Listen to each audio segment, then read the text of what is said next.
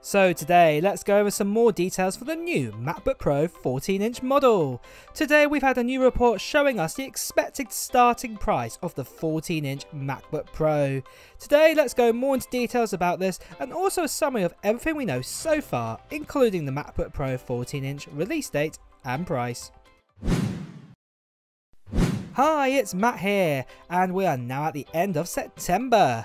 So as it's getting closer to the MacBook Pro's release date and more and more leaks and reports are dropping in more regularly, I am making more MacBook Pro 14 and 16 inch videos until its launch. So as I have said before, I've decided for all the new MacBook Pro 14 inch videos, like this one you are watching, I'm going to give you the latest details on specific reports of info that we've been told, then details of the planned release date time, then a summary of the models that are going to be released with all their features that we've learnt in previous leaks. After, I'm going to reveal my wish list, as it were, for the MacBook Pro 14 inch, and also put in the comments below of what features you would like to see in the new MacBook Pros, and maybe in my next video, I may feature your comment and discuss my thoughts around it. So let's get started with that starting price of the new MacBook Pro 14 inch. So a new report has come in from Dylan KT who has said the new MacBook Pro starting price will be higher than the price that we get right now on the M1 MacBook Pros. Dylan has said the following It's comforting to note that both MacBook Pros are on for coming this fall and will have the same chip and the same performance. It's definitely a win for those who opt for the smaller size, but accept a notable increase in price for the 14 inch over the 13 inch. Now, to be fair, from my point of view at least, I'm not surprised that there is going to be a price increase. And to be fair, it's wrong here what Dylan is using, the term he's using, to say that it is a price increase here. Now, right now, Apple sell the M1 13-inch MacBook Pro, but did you know they still sell the higher tier Intel 13-inch MacBook Pro from early 2020, and they cost more than the M1 MacBook Pros even right now. These higher tier 13 inch MacBook Pros come with say 4 times USB ports for example and before the M1 chip they also had higher Intel spec chips compared to the cheaper Intel 13 inch models with 2 times USB-C ports and they also had a less powerful Intel chip inside those. So Apple replacing these higher tier 13 inch MacBook Pros with the 14 inch M1X and as you can see here they are more expensive starting at just under 1,800 US dollars. So it's very likely that the M1X 14 inch MacBook Pros will start at this price as well. However, I will comment that this also leads me on to say that all reports and leaks are not 100% proof that they will come true for new MacBooks. Like I said at the beginning of this video, I can only present to you what I've been told and shown. However, if you are still watching this video, then you are as curious as I am in knowing what is being said about the new MacBooks anyway. So continuing on with the release date. So based on Mark Gurman's recent report saying that the MacBook Pros are coming in several weeks, this is most likely going to be the case for a launch event in October and release around a week or so later. Remember the last time we got an overall design refresh on the MacBook Pros was in October 2016 so there's a possibility for this, but the exact date, with the exception of the COVID launches in 2020 of the new M1 Macs, all previous full releases of MacBooks have come at the end of October, and this has always been in the mid 20 numbers or even the first or second day into November, and it's always been a Friday. In fact, another leaker, Dylan, has also said that the end of October, early November time is on the cards. So based on this info, and remember this is on facts of other full-time MacBook releases, so remember this is not written in stone, we could, and I'll say that again, could see the new MacBooks in our hands on October 22nd or October 29th. But if we get a firm date, this of course will change, but for now this gives you a good time to base on when the release will be. So, one question I get asked often is, Matt, what do you do in your free time? Well, one of my pastimes is just to go out and get some fresh air and put my AirPods in and listen to a great audio book. I listen to many books from Audible, and to be fair, there's a good reason for this. Audible is the leading provider of spoken word entertainment for all being in one place. They have a massive selection of audiobooks ranging from the bestsellers and new releases to celebrity memoirs, languages, business, motivational original entertainment from top celebrity creators, and thousands of popular and binge-worthy podcasts. So right now I'm listening to Steve Jobs' biography and it's absolutely amazing. There's so many things I didn't know about Steve Jobs, especially during his upbringing. Like for example, did you know he was adopted when he was a child?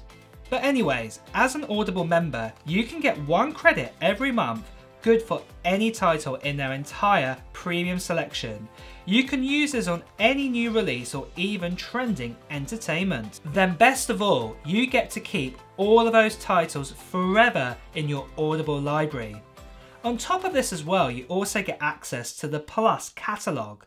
Now with the Plus catalogue, it gives you access to literally thousands and thousands of audiobooks, original entertainment, guided fitness and meditation, sleep tracks for better rest, and podcasts, including ad-free versions of your favourite shows and exclusive series.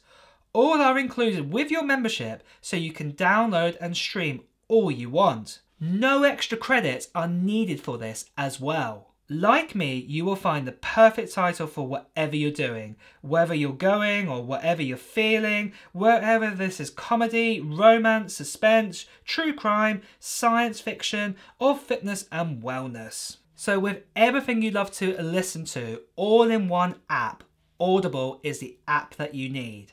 In fact, right now my channel also has an offer on Audible. You can get a 30 day free trial by going to audible.com forward slash Matt Talks Tech, or you can text off your phone Matt Talks Tech to 500 500.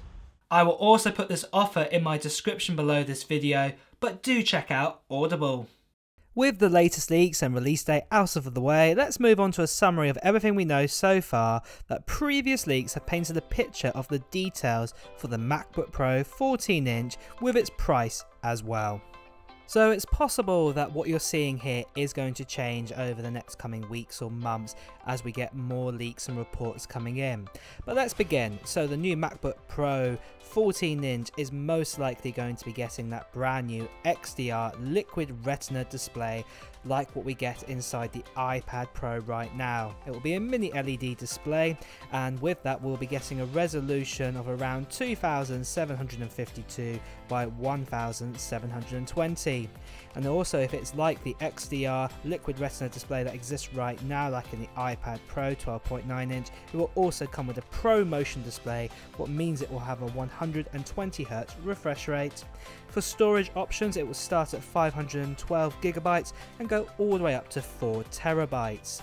For the actual chipset inside it, it is looking likely that we're probably going to be getting an M1X chipset inside and this will be a 10 core CPU setup and this will give us 8 performance cores and two efficiency cores and then there will be an option between a 16 and a 32 core GPU depending on how much RAM you pick. And talking about RAM, there's going to be a choice between 16 to 64 gigabytes of RAM and it's seeming likely that if you do pick the 32 gigabytes or the 64 gigabyte RAM option, this will give you the 32 core GPU option. There's also going to be a brand new design because at the end of the day we're increasing up to a 14 inch design and it's all going to look completely different. We're going to have an aluminium body what MacBook Pros have been made out for many years. For ports wise, we're going to be getting the MagSafe. It's going to be returning at last in a brand new way, so it's really exciting to see to come back to the MacBook Pros because it's a great port. We're also going to be getting three USB-C Thunderbolt 4 ports will also be USB 4 compatible and we're also going to be getting return of a HDMI port will be HDMI 2.1 and also an SD card port as well that's going to be returning back to the MacBook Pro. For the actual webcam, we're going to be getting that center stage webcam like we get on the new iPad Pros right now, and this is a 12 megapixel camera in the middle of your MacBook Pro. For battery life, we're expected to be getting a 6068 milliamp battery inside it, so that should give us a really good battery life, especially mixed with the brand new Apple Silicon chipset. So prices wise, these are based on the lowest spec uh, MacBook Pro 14 inch that you can get because you can choose the different kind of storage options and RAMs and bits and pieces. All the prices sort of change. So I've just basically based all the prices on 16 gigs of RAM and then going up with the storages. So starting with the 512 gigabyte of storage, it will start at 1,799 US dollars. One terabyte will be 1,999 US dollars.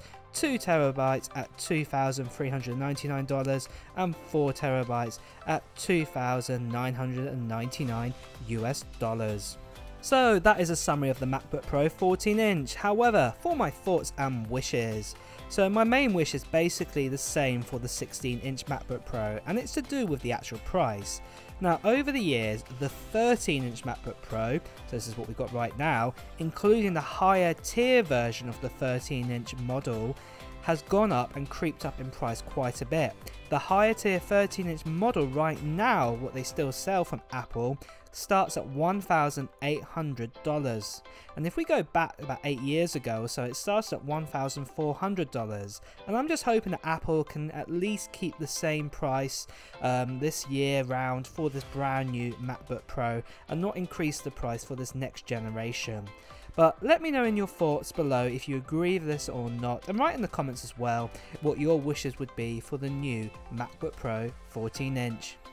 Well guys, it's also time to wrap up this video, so if you've enjoyed watching it, please make sure to like the video, and at the same time, if you want to hear the latest Apple news, reviews, and comparisons, please make sure to hit the subscribe button, followed by the notification bell. Until next time guys, see you soon.